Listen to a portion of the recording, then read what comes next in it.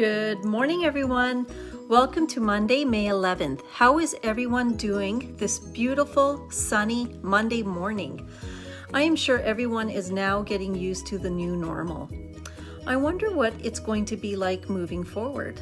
I often ask myself, will employers continue to allow employees to work from home? Will we see an increase in commercial properties for sale? I would love to hear your thoughts so please comment below and let me know. It makes you wonder, doesn't it?